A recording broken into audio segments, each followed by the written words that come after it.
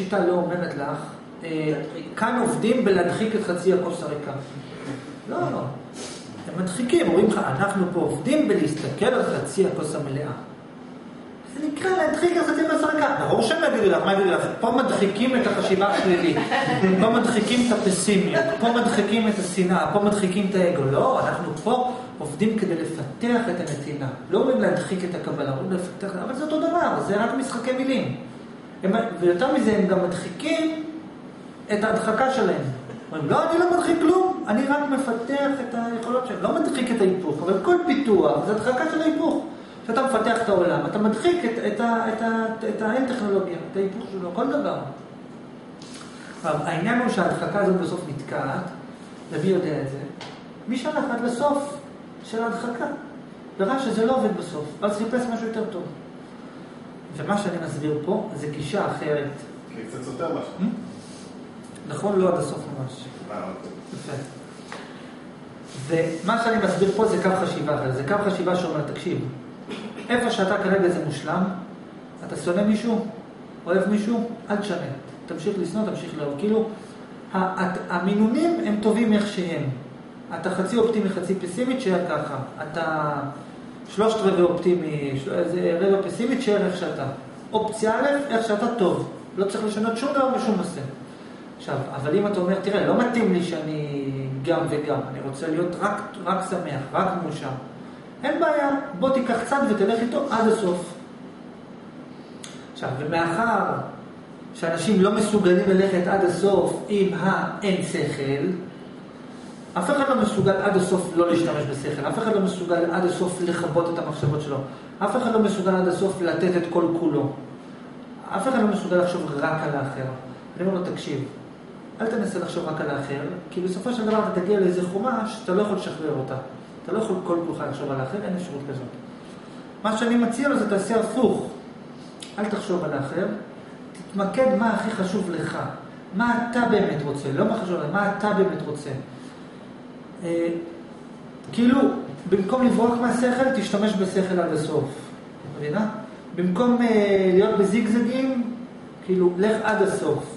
עכשיו, זה נכון שזה יותר קשה, כי עכשיו אתה גם צריך לוותר על המקומות שכבר היית רגוע. כי אם פעם הייתי מרוצה, היו לי אמונות חיוביות ואמונות שליליות, דוגמה, בן אדם יש לו אמונות חיוביות ואמונות שליליות, אז רע לו מהשליליות, אז הוא הולך לסדנה ומפתח את האמונה החיובית שלו. עכשיו, אני אומר לו, תקשיב, אתה רוצה לצאת מהלופ? אתה צריך לוותר על האמונות השליליות, אבל גם על החיוביות. אתה יותר לא מאמין לשום דבר, לא לטוב ולא רע. עכשיו, אז הוא אומר, וואלה, זו שיטה שעוזרת לי באמת להיפטר מהרע, אבל עכשיו אני גם צריך להפסיק להאמין בדברים הטובים שבי. אז זה מלחיץ. מה, ומה עם הדברים הטובים? מה איתם? נכון, זה מלחיץ, אבל לפחות יש לזה סוף. בסוף אתה מגיע למוחלט. כאילו, לפחות זה מביא אותך ל...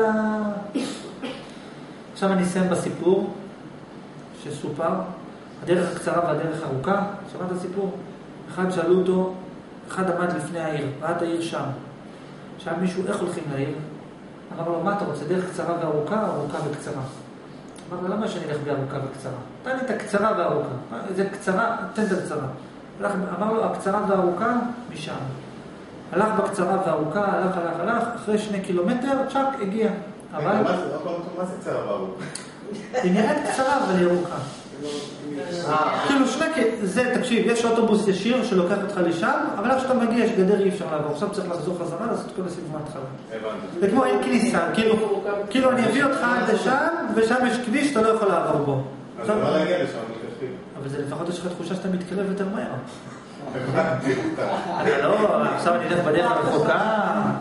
כן, בוא, הנה פה טיק טק, תאמין שזה טוב, אתה טיק טק מגיע. לא רע לי, אני מאמין טוב, הגעתי. אבל מה קורה? אתה מתחיל להאמין שזה טוב, מתחיל לחשוב חיובי מזה, אבל בסוף יש limit. בסוף, רגע, אבל עכשיו אני לא יכול אה, להדחיק לגמרי את, ה, את השכל שלי שאומר לי זה לא מספיק טוב, אולי זה לא מספיק טוב. הספקות, שאומרים לך, רגע, אבל מי אמר לך שזה טוב? אולי זה לא טוב, אולי זה לרע.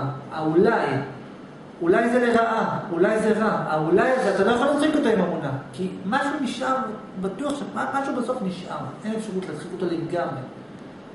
ועכשיו, אז אני אומר, אוקיי, לך בדרך הארוכה והקצרה. מה זה אומר ארוכה? אתה סוגר את כל האמונות שלך, עכשיו אתה מתחיל לבנות מאלף, בלי אמונות, בלי כלום. בודק, טוב או רע, זה רוצה, לא רוצה, כל דבר. עכשיו, זה דרך ארוכה, אה, עד שאני זה, עד שאני זה, עכשיו... אבל זה לא ריאלי בכלל, זה לא אפשרי, כאילו. זה- וזה אפילו לא אפשרי, נכון, וזה כל כך, זה לא רק ארוך, זה בכלל לא אפשרי. נכון. נכון. אני אני אגלה לך סוד. יש דרך קצרה, שנכון שלא מובילה, אבל לפחות עוד אפשר ללכת בה. עוד אפשר להיכנס, לעמוד ליד השער של גן עדן מבחוץ. נו. אבל, אבל יש דרך, מה שאני מציע, אי אפשר בכלל ללכת בה. נכון. אבל אם תצליחי, אז תגיעי. אבל לא אצליח. אז לא תצליחי לצפת. אני מסביר לך תכלס. אם, תקשיבי, אמרתי את זה גם פעם יש קודמת. כאלה שהצטלמו. תקשיבי, אף אחד לא הצליח, ואין אוקיי, פתרון. גם אני לא הצלחתי. תקשיבי, אף אחד לא הצליח, ואין פתרון. אבל אם יש פתרון, זה הפתרון. בסדר? אם יש דרך, אם קיימת דרך, זאת הדרך. אם את הולכת עם השכל עד הסוף, פתרת את הספק של האולי ככה, אולי ככה, אז השתחררת. השכל עצמו משחרר אותך. זה כמו המלאך המוות מכניס אותך, לוקח אותך, מכניס אותך לגן עדן. זה כאילו הכל הפוך פה. זה לא שהמלאך הטוב לוקח אותי לגן עדן, המלאך הטוב לוקח אותך לגיהנום והרע לגן עדן, אבל, אבל כדי שזה יהיה מתוחכם, אז אסור שההוא שלוקח אותך לגיהנום נראה מחייך, והוא שלוקח אותך עדן נראה כועס. הוא עוד אפילו מרביץ לך בהתחלה. אז אם את- את מתפתה אחרי ההוא שמחייך אלייך, אוקיי, הדרך לגיהנום, רצופה בכוונות טובות. אבל אם את אומרת לא רוצה כוונות טובות, אני רוצה מה האמת. זה מפחיד, מה זאת אומרת? אה, אה. אוקיי, מפחיד, אבל אם צלחת את הדרך, בסוף הגעת למקום האמיתי. הבנו? הבנתי שזה מאוד מסובך, ואני לא יודעת... אה, בסדר, בסדר. תראי, מה שאני, בוא, עכשיו אני אזדהה עם מה שאמרת בהתחלה. זה מחויב שיהיה לך רגש אמביוולנטי כלפי מה שקורה פה. כי זה לא המקום שמקבל את הכל איך שהוא. זה לא המקום.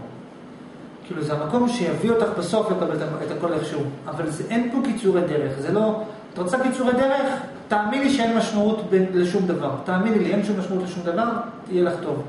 אבל רק לפני כמה דקות אמרת, איך אני יכולה להאמין בכזה דבר? עד שאני לא חווה את זה, זה לא שווה לי כלום, נכון אמרת את זה קודם? אני צריכה לחוות שאין משמעות לשום ובשביל זה צריכה להתאמץ. תראי, את רוצה קיצורי דרך? תאמיני לי, את לא קיימת, אין בעיה. את זה אני יודעת. לא, תאמיני, אם צובטים אותך, מה אכפת לך? את לא קיימת, זה שווה, זה אותו דבר. לא, מה, את לא, לא, לא, לא. יפה. יפה. זאת אומרת, תראה, עכשיו, את רוצה דרך עוד יותר קצרה? אל תשני שום דבר, איך שאת עכשיו זה מושלם. מה זאת אומרת זה מושלם? אבל לא נוח לי איך שאני עכשיו. את רוצה הכי קצרה? תאמיני לי שאת מושלמת איך שאת עכשיו, אל תשני כלום. מסוגלת להאמין לי שאת מושלמת עכשיו לא לשנות כלום? אם כן, תגיד לי את זה, אני מאמינה לך. אוקיי, מאמינה לי עד שיקרה משהו ותגידי, לא, זה לא מתאים אני רוצה לשנות. עכשיו, אז את אומרת, לא, אני רוצה להרגיש את זה, את רוצה להרגיש, צריך לעבוד קשה. איך לעבוד? תבדקי, האם אני מושלמת?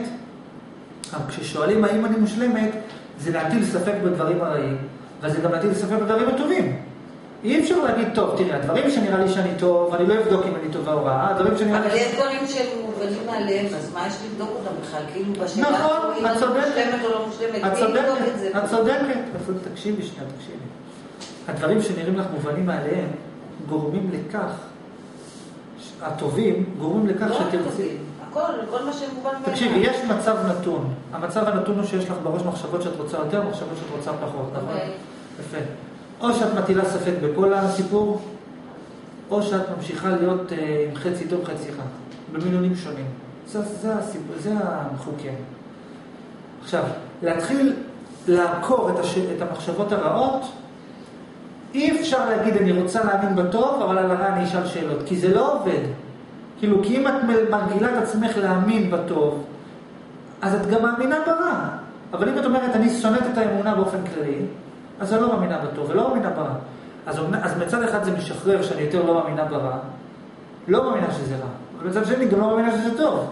אז עכשיו עוד יותר לחץ. מבינה? בעיקר כל הערבוב הזה. ואף על פי כן, זה הדבר היחיד שיכול בסוף להוציא אותך מהלופ. אבל איך אפשר לדעת לא ללכת לאיבוד בדרך? אי אפשר. זה. פשוט. את צריכה להיצמד לאמת שלך. מה זה אומר לאמת שלך? את, אל תגידי דבר שאת לא בטוחה בו. זה הכל, אל תגידי לעצמך. אם יש משהו שאת לא בטוחה בו ואת רוצה להגיד אותו למישהו, תגידי את זה לא. לעצמך, אל תגידי שום דבר שאת לא בטוחה בו. הבנת? אל, ת, אל, תגידי, אל תגידי אני רוצה אם את לא באמת רוצה. אל תגידי אני לא רוצה אם את לא באמת לא רוצה. תגידי את האמת, אני גם רוצה, גם לא רוצה, אני גם... תגידי את הדברים כפי מה שהם. אל תעשי דאווינים, אל תגידי, אה, זה, זה רק ככה? מה עם ההיפוך? מה עם זה שאת גם לא אוהבת? מה עם זה שאת גם כן אוהבת? כאילו, לא לעשות אה, מצג שווא מול עצמך. כפי יכולתך. אבל אם תעשי את זה כפי יכולתך, בסוף תגידי, רגע, אז זה בכלל לא משנה. ותחווי את זה, את האחד. הכל טוב בפני עצמו, הכל רע בפני עצמו, זה שווה, אין הבדל. זהו, אבל בסוף תגיעי לזה. את- זה לא שאפשר ללכת לאיבוד בדרך, את כבר הלכת לאיבוד. כאילו, לא צריך ללכת לאיבוד, את כבר הלכת לאיבוד. בחיפוש. את עכשיו, זה כמו שמישהו, זה כמו שאליסה בארץ הפלאות נמצאת ביער, ושואלת מישהו, אפשר ללכת לאיבוד בדרך הזאת? לא את כבר הלכת לאיבוד, עכשיו את מחפשת לצאת החוצה. עכשיו אנחנו נעשה